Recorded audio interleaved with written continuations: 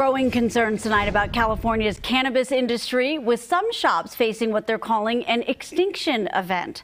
A change in state tax law that just took effect this month requires retailers to pay instead of distributors, and hundreds of stores had trouble paying. So let's dive into this. CBS 13's Andrew Hobner is getting answers on how we got here and what could come next. The marijuana industry may be in trouble in California.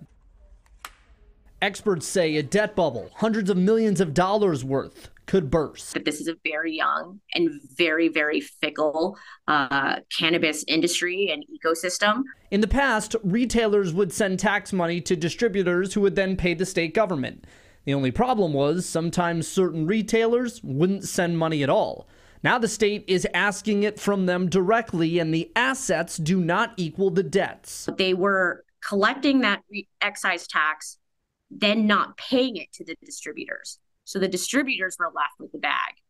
Michelle Mabagad is a pioneering lawyer in the cannabis space and says the problems are bigger than just some lost money. It's a systemic policy issue um, over taxation, over regulation, high compliance fees, lack of access to banking or institutional lending. An illicit market that runs parallel to the legitimate market is also a problem. Sacramento-based company Colas telling CBS 13, quote, high tax rates are putting licensed cannabis businesses at a disadvantage compared to the illicit market, which continues to thrive under the current taxation regime. But the larger issue is that of the debt bubble as values are dropping with no end in sight. What would have gone for, you know, $10 million five years ago? You're lucky if someone would just take it off your hands for free. Well, the businesses that weren't able to pay the tax now facing a 50% penalty.